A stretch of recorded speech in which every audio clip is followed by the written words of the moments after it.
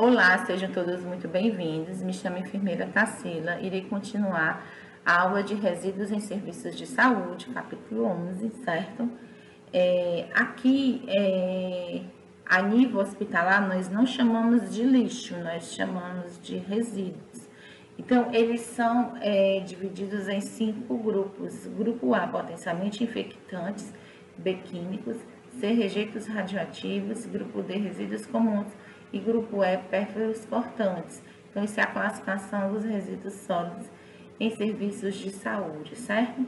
Então, para você começar a entender é, esses grupos, nós vamos partir primeiro, né, é, da característica de cada resíduo hospitalar, certo? Então, vamos lá. Vai ter um momento que eu vou consultar outros materiais, tá? Aqui durante a aula. O grupo A infectante é gás, algodão, luva, aventais, macacões de isolamento, EPIs contaminados, certo? Nesse grupo aí eu tenho algumas é, subclasses, né, que eu vou já dizer para vocês, tá? Eu tenho o saco leitoso e eu tenho o saco é, vermelho, tá? Nesse, nesse grupo. O grupo B é o químico, medicamentos e reagentes. Medicamentos vencidos, certo? É medicamentos que ficam na quarentena, né? Então, medicamentos que já, já é, digamos assim, é, não, se, não se tem mais compatibilidade para estar tá administrando esses medicamentos, tá?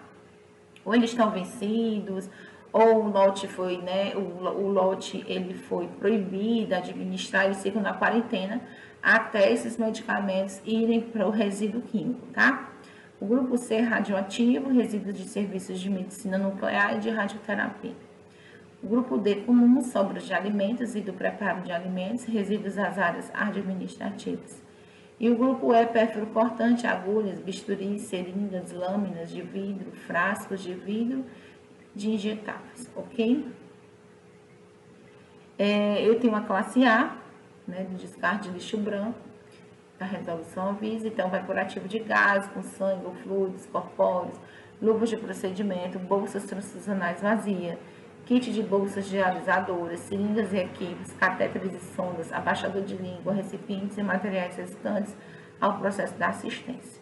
Então, eu tenho o descarte de saco vermelho, em saco vermelho, são os resíduos resultantes da atenção à saúde de indivíduos ou animais com suspeita ou certeza de contaminação biológica. Exemplo, látex, né? Bolsa coletora de secreção, né? É, também, tá? É, então, vamos lá.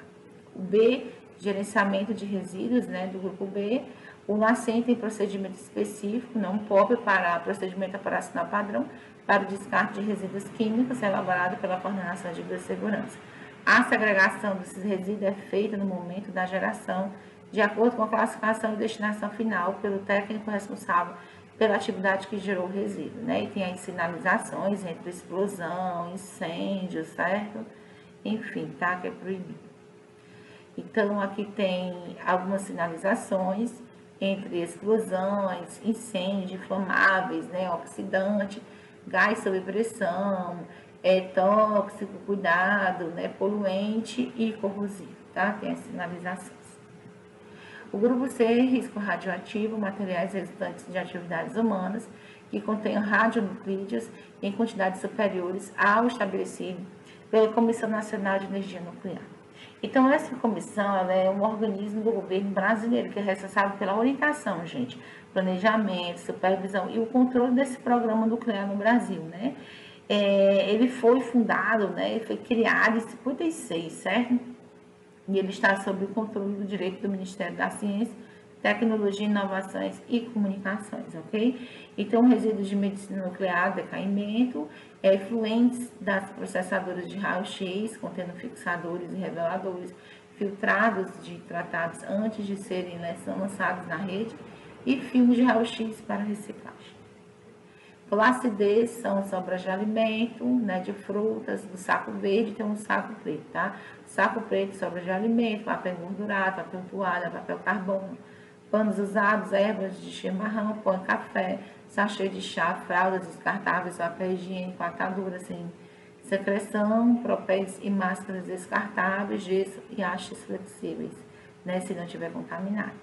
Embalagem de papel plástico e alumínio vazio, saco verde, porcos descartáveis, folhas, papéis, isopor, latas de alumínio, embalagens PETs e Tetra Pak, bolsas de soro, frascos de dietoterapia, embalagem de material cirúrgico e embalagem de medicação, tá? Invólucro externo.